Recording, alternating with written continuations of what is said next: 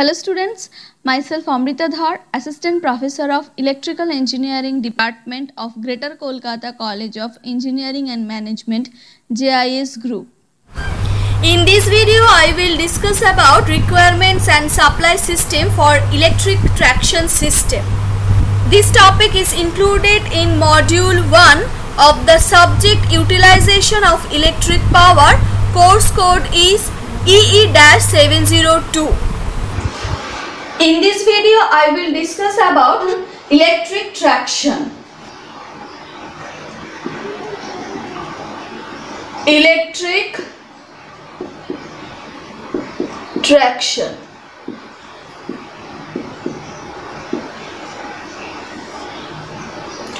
Now, traction system uh, can broadly speaking be classified as those which do not involve use of electrical energy at any stage such as steam engine,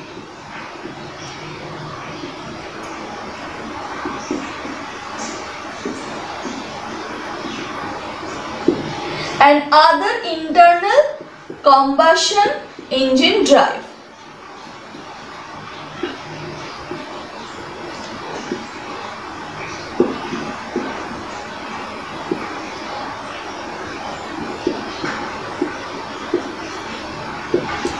Okay, they do not use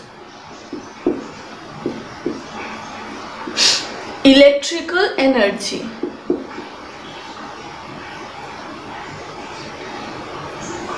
and those traction system which involve use of electrical energy at some stage or other such as uh, diesel electric drive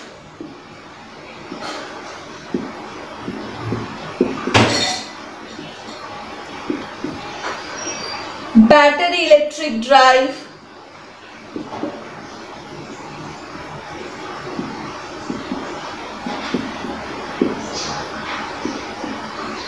Straight electric drive.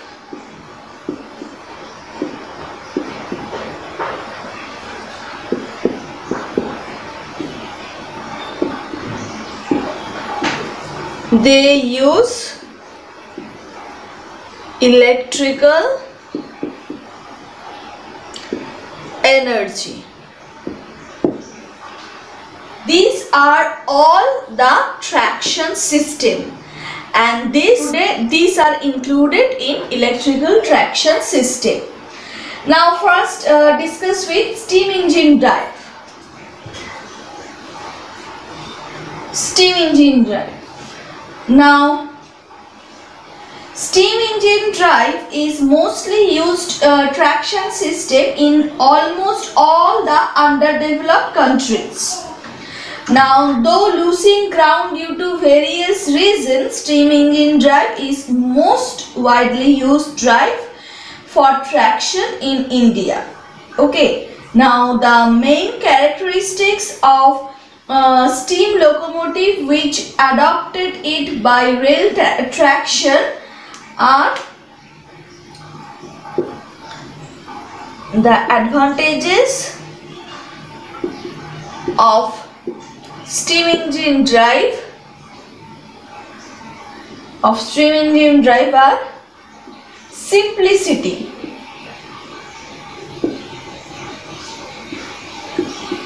Simplicity of design. Next operational dependability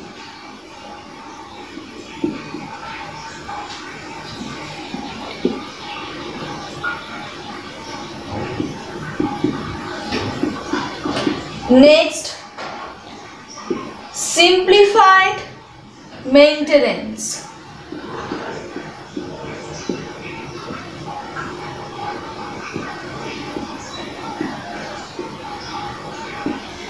Now, a factor or considerable importance in technically underdeveloped uh, countries. This is a main factor. easy speed control the speed control of steam engine drive is very much simpler. Next advantage is properly designed boiler.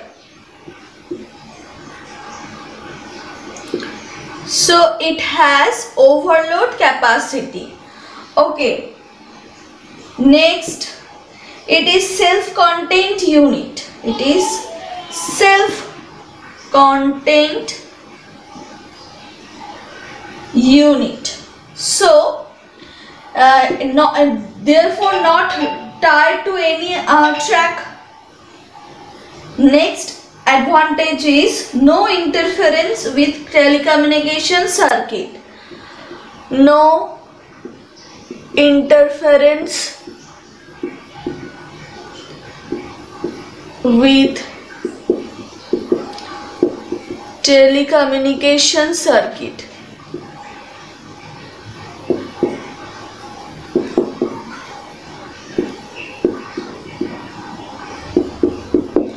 And main advantage is low initial cost as no track electrification is needed in steam engine drive.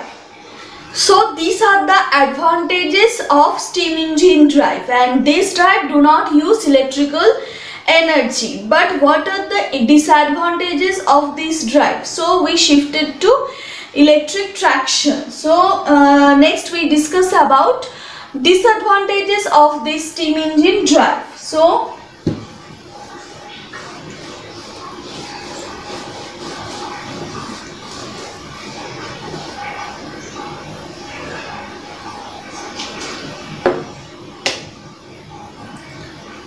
disadvantages okay.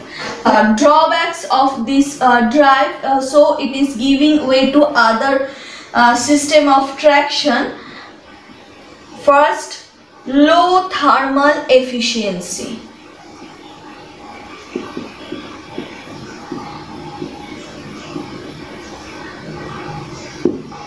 Now steam engine used on locomotive is non-condensing type using steam at a low pressure. Now further fires have to be blanked even when locomotive is idle. On the other hand electric locomotive apart from the fact that power is required for the auxiliaries which run continuously uses of electrical energy only when it moves. So power required by electrical lo locomotive is usually uh, generated either in thermal or hydropower station. So thermal power station employing high capacity generating sets utilizing high temperature and pressure steam and give efficiency of generation apart from making saving on the coal and beside these low grade coals can be burned in power station thereby affecting the saving of metallurgical coal.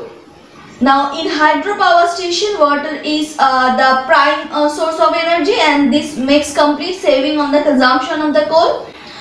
Now observe that the uh, average efficiency of steam locomotive is 5 to 7 percent okay against electric uh, locomotive whose uh, against electric locomotive whose efficiency is 40 percent to 42 percent. And it is with hydro electric power. And with a diesel electric locomotive it is 26% to 30% with diesel electric locomotive. Okay. So compared to this electro locomotive uh, 26 to 30 percent for diesel electric and 40 to 42 percent with hydroelectric is it, it is very less in steam engine drive. It is only 5 to 7% of so low thermal efficiency of the steam locomotive is the attribute to low contribution efficiency and considerable loss in the heat in the exhaust steam. So it is the main disadvantage of steam engine drive. Next, need of adequate supplies of feed water. Next disadvantage is need of adequate service of feed water. The need of adequate supplies of feed water at regular intervals and in case of double heated train it requires lot of time for watering. So this is the uh, another disadvantage of using steam engine drive. Next uh, limited availability and cruising uh, range which uh, influenced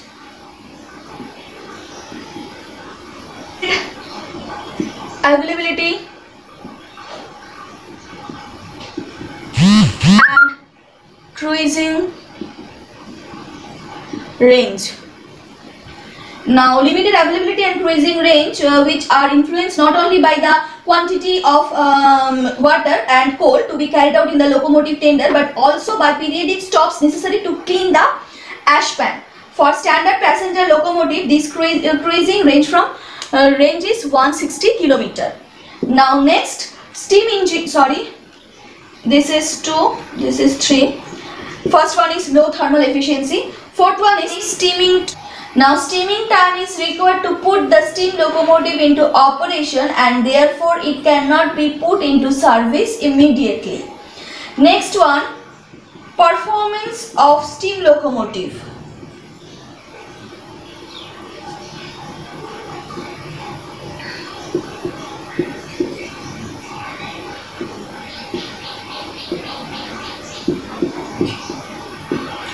Now performance of steam locomotive is governed by firing rate of the coal. And single fireman can maintain a firing rate of about 2000 kg per hour for a short period. And with two firemen firing rate would be uh, 2700 kg per hour. So with one fireman the fire rate is this. And with two firemen the fireman is 2700 kg per hour. Now due to unbalanced force, next one, unbalanced force. Now due to unbalanced forces produced by reciprocating masses, coefficient of adhesion of steam locomotive is 0.25 as compared with that of electric locomotive ranging from 0.3 to 0.45 and this would require higher axle loads which are restricted from railway bridge design consideration. Now as an alternative to this large uh, number of coupled wheels uh, has to be employed and the maximum number of coupled axles is restricted to 4 with the wheel arrangement of 282 as any further increase would make it difficult for locomotive to uh, negotiate turnouts and curves without incurring uh, large lateral stresses and distortion of the track. Next one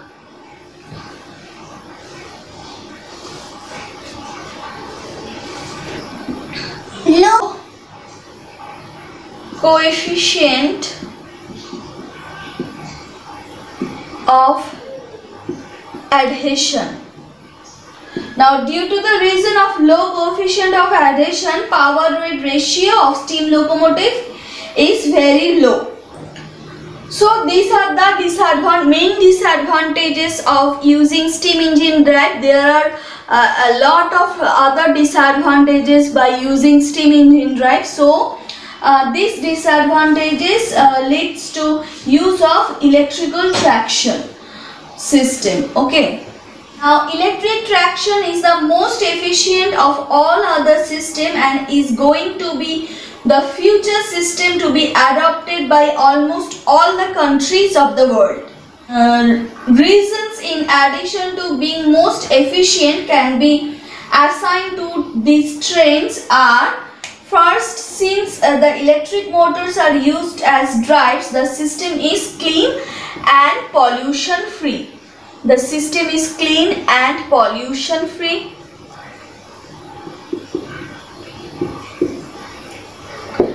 next.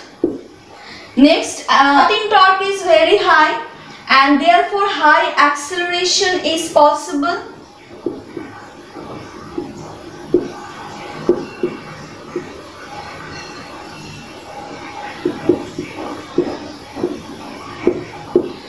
so high acceleration is possible In fact, by using regenerative braking, energy can be pumped back into the system, uh, especially during periods of uh, descents, uh, so that the instead of kinetic energy of the train being dissipated in the brake shoe and wheel tires, it would be converted into electrical energy and returned to the supply system.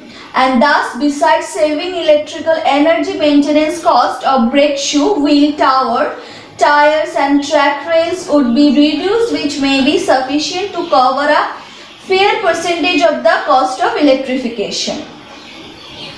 Next, electric traction is more suitable especially for uh, suburban and urban railways where frequent starting and stopping and high schedule speeds are required.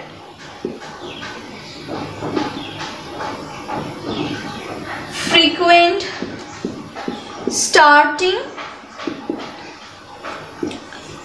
and stopping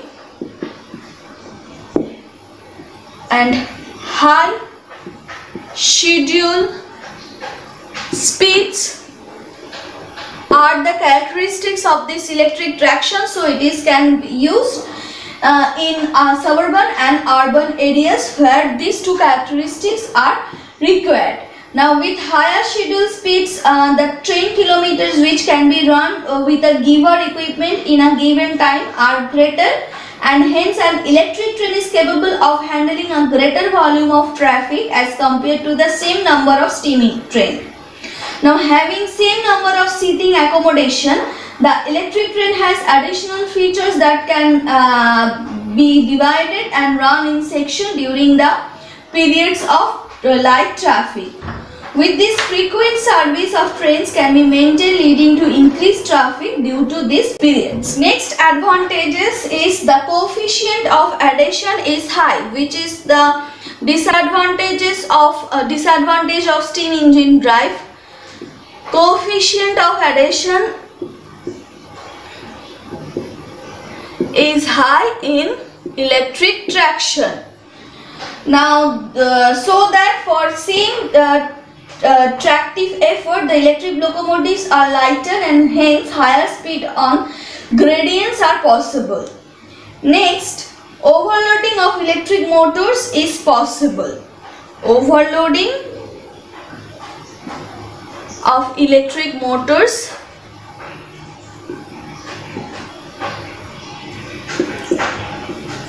is possible. Okay. For some time depending upon the degree of overloading. Next one, center of gravity of um, electric traction is lower.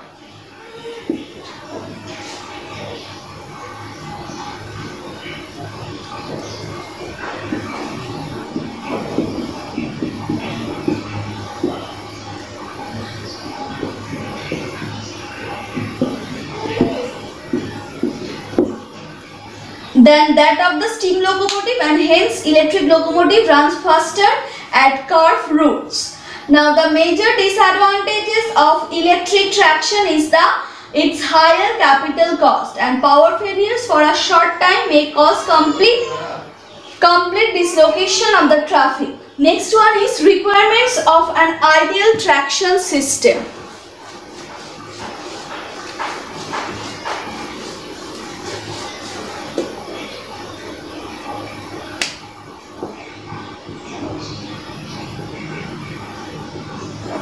Requirements of ideal traction system. Uh, some of the important requirements of the driving equipment used for traction purposes are first the coefficient of adhesion should be high. The coefficient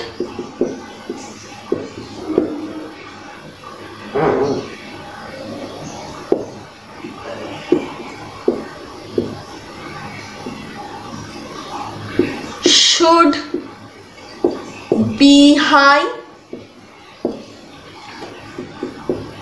Next it should be possible to overload the equipment. Overload the equipments.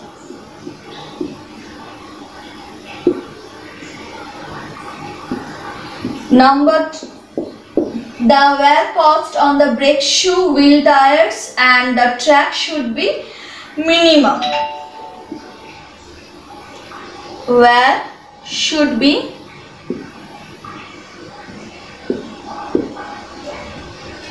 minimum.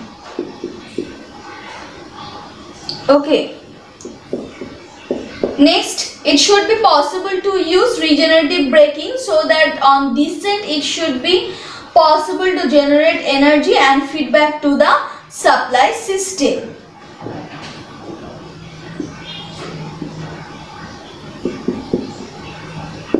Next requirement is regenerative braking. The locomotive of the train unit should be uh, self-contained so that it can run on the any route.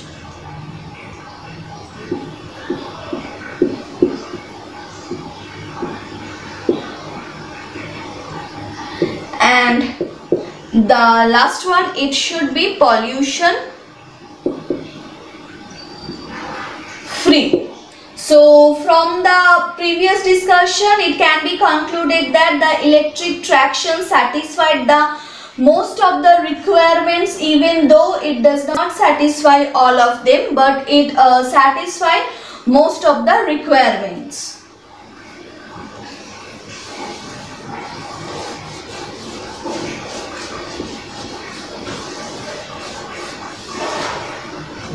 Next is the supply system for electric traction. Supply system for electric traction. Now mainly three are the uh, supply system for electric traction. First is the direct current system. Direct current system. Next one is the single phase AC system. Now at low frequency 162 by 3 hertz or 25 hertz. And at normal frequency of normal frequency of 50 hertz. 50 hertz. And the third one is the three phase AC system. Okay. So first we discuss the direct current AC system. Uh, now in this system energy is obtained from the substation which consists of transformer and converting equipments like SCR because transformer is used uh, only for AC so we require the converting equipment so AC can be converted to DC and the substation are spaced at a distance of 3 to 5 kilometers and in case of suburban railways operating uh, voltage is sub for suburban 1500 volt DC system um, and in case of main lines it is uh, 3000 volt DC system. It is for mainline and it is for suburban. Okay. Now they are uh, spaced at a distance 40 to mm, uh, 50 kilometers and these substation are of unattended type. The DC motor have better speed torque, characteris- torque speed characteristics and lower maintenance cost and smaller mm, weight per horsepower and better speed control and efficient regenerative braking as compared to uh, single phase AC motors. The Motors are designed to operate at line voltage even though it is desirable for voltages above 1500 volt to operate two or more than two motors in series permanently. Next is a single phase uh, AC system. In single phase system the energy for trains is drawn directly at high voltages 15 kV to 25 kV from a generating station and when the length of the electrification is about 35 kilometers. 15 kV to 25 kV.